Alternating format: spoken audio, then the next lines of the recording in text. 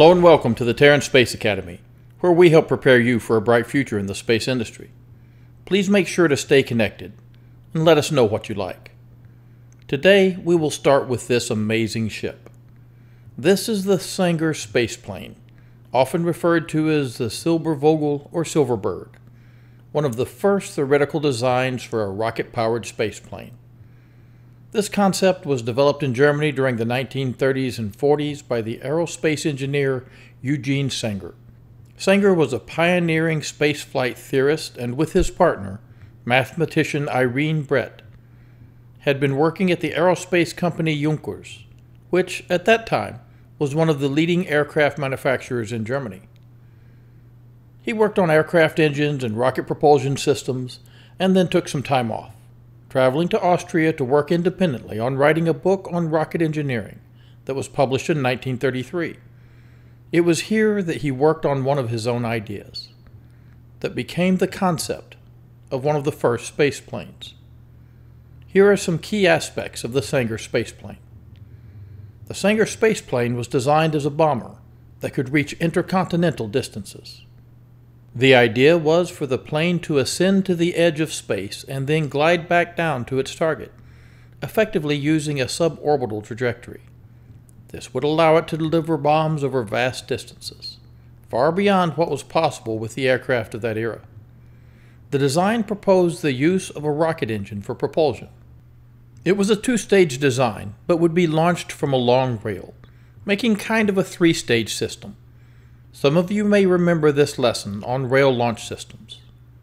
On release, the two stages climbed to a high altitude powered by the first stage.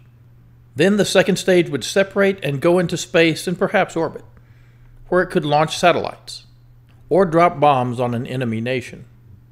Then it would enter a long, flat glide back to Earth. One of the most innovative aspects of the design was its reusability, which was quite ahead of its time.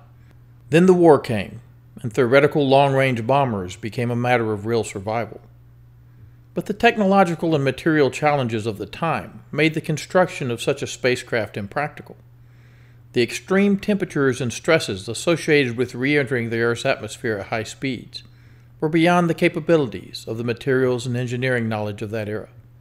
Sanger worked on more practical aspects of military aviation. And as the war was lost by Germany and the country divided, Sanger moved to France at the invitation of the Allied forces, who wanted to benefit from Germany's advanced aerospace knowledge. Later, he came back to what had become West Germany and was instrumental in the development of space technology there, advocating for European cooperation in space research and exploration. While the Sanger spaceplane was never built, its concepts and designs had a significant influence on later aerospace projects. The idea of a reusable spaceplane would resurface decades later in the form of the American Dyna-Soar. And when the United States was going through an energy crisis in the 1970s, it spent the equivalent of half a billion dollars looking back at these designs and came up with the Star Raker spaceplane. Hydrogen powered, it was designed to take large solar power satellites to orbit. But after the crisis resolved, these plans were shelved. The German company Messerschmitt resumed work on the concept in the 1980s. And Germany's Aerospace Center, the DLR, which stands for Deutsches Zentrum für Luft- und Raumfahrt. That was my German friend Sebastian, by the way. Thank you, Sebastian. The DLR liked the Sanger 1 concept, designing a reusable launch system that became known as Sanger 2. This could also be used as a hypersonic passenger transport. The second stage would have been called Horus, for Hypersonic Orbital Upper Stage, a very cool name, as well as a cargo module that would have been called Cargus, a not so cool name. The Germans were adopting the American love of acronyms, but like American beer, it wasn't quite there.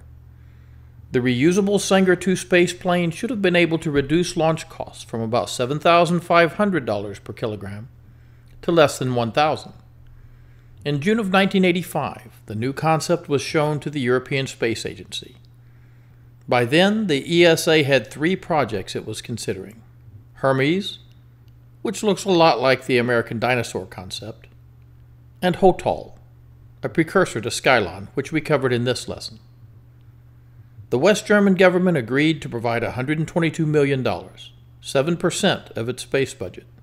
The DLR itself kicked in another 48 million, while the German Research Society gave 17 million and private German industry another 22 million dollars. In August of 1988, the first configuration was completed. The Sanger was designed to be a hypersonic aircraft about the size of a Boeing 747. It would take off like a conventional aircraft, unlike Sanger's rail launched original design, with the first stage being powered by six hybrid turbo ramjets, somewhat similar to the engines used on the American SR 71. It would reach a cruising speed of Mach 4.4 with a maximum of Mach 6 and had a range of 11,000 kilometers, carrying 230 passengers for point to point travel. For orbital launches, the mothership would have been paired with an air launched orbital spaceplane. This would have been derived from the planned Horus spaceplane.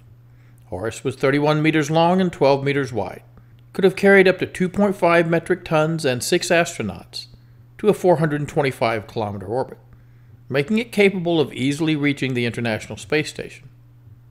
Additional upper stages, like the Cargus stage vehicle, could have carried up to 15 tons to low Earth orbit. Cargus would have used some propulsion systems from the Ariane 5 rocket system for orbital flights. The Sanger would have climbed to an altitude of 30 kilometers and a velocity of Mach 6, at which point it would release the orbital second stage. Later designs would have reached Mach 7 before separation. The U.S. had proven the feasibility of an orbital spaceplane with the shuttle, but had failed to make it affordable or safe. The side attachment vertical launch design was inherently dangerous, obviating any early escape options and leaving the orbiter vulnerable to falling insulation and ice, something that doomed the Columbia spacecraft. The Sanger designs were all valid concepts, but the greatest threat to the dreams of European space enthusiasts is the same in the United States governmental short sightedness. The ESA failed to develop any of these three concepts, focusing instead on their existing systems, like the Ariane 5, which was a fine rocket system when it was designed back in the late 1990s. And while China is working on the Super Heavy Lift Long March 9, and America is test flying the SpaceX Starship, Europe is focusing on the Ariane 6. Let's look at the great progress made between these two rockets. The Ariane 6 is a maximum of 63 meters tall instead of 52. It's the same diameter, 5.4 meters, and can have a heavier gross mass, 860 metric tons instead of 777. Instead of two very large boosters, it can have two to four smaller ones. And it has a similar core stage, powered by the Vulcain 2.1. The 2.1 is a simplified version of the Vulcain 2, with very similar performance and mass. The Ariane 6 will not have a reusable booster like the Falcon 9 or New Glenn.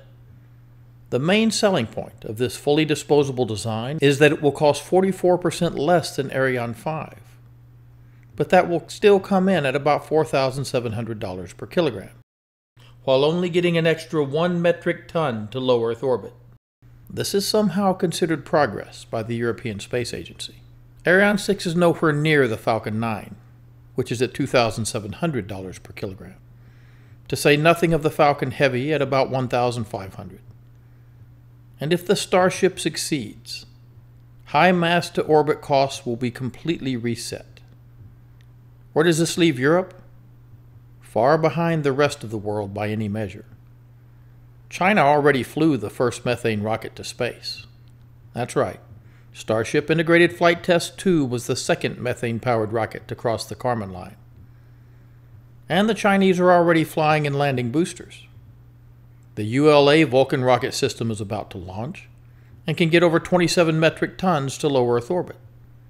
And if all goes well for Blue Origin, the New Glenn rocket will lift 45 metric tons to LEO. Ariane 6 will be obsolete before it takes its first flight. But what about safety for crewed flights? Right now, America has the Dragon 2 capsule flying, with the unreliable Starliner probably permanently grounded. And we also have the lunar return capable Orion. Russia has the venerable Soyuz spacecraft and was planning to work on the Orel, but they found another way to spend their national treasure.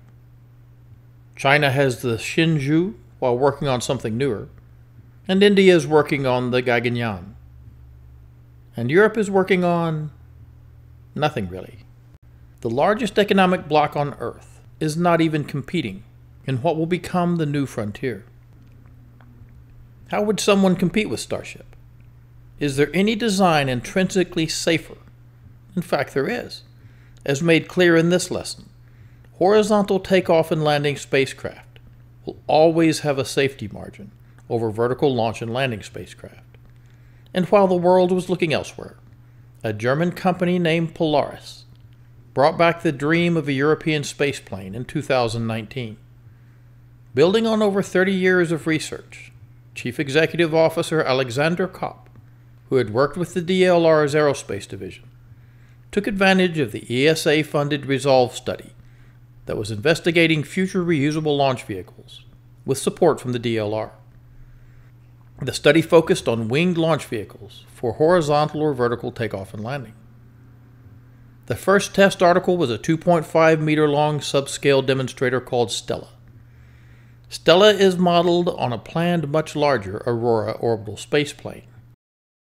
That's right, the CIA cannot copyright something they don't admit exists. Stella had kerosene powered turbojet engines and was used to perfect autonomous software for takeoff, subsonic flight, and landing. In 2021, Polaris received a contract from the German military to use their design for a rapidly deployable reconnaissance system. ESA then kicked in more funding to research and support the development of 100% reusable spacecraft. In 2022, Polaris rolled out a larger subscale platform called Aleida, which was 3.5 meters long, with modern flight control systems designed to operate in a negative stability mode. A hypersonic spaceplane will be aerodynamically unstable and will need constant computerized adjustment to maintain stable flight. Polaris has secured significant pre Series A investment through its investment company, Polaris Space Venture.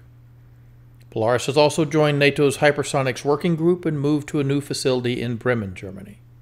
With 400 square meters of office space and 550 square meters of workshop space.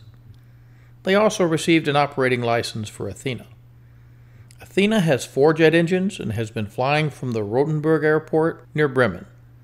Athena can be flown out of sight range, and the first flight of Athena was from the historic Peenemünde Airport in November of 2022.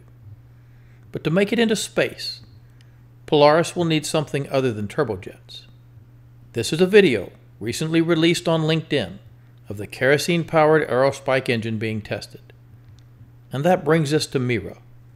Mira will be equipped with this aerospike engine and has been approved to fly from Peenemünde over the Baltic Sea, where it will have 260 square kilometers for testing.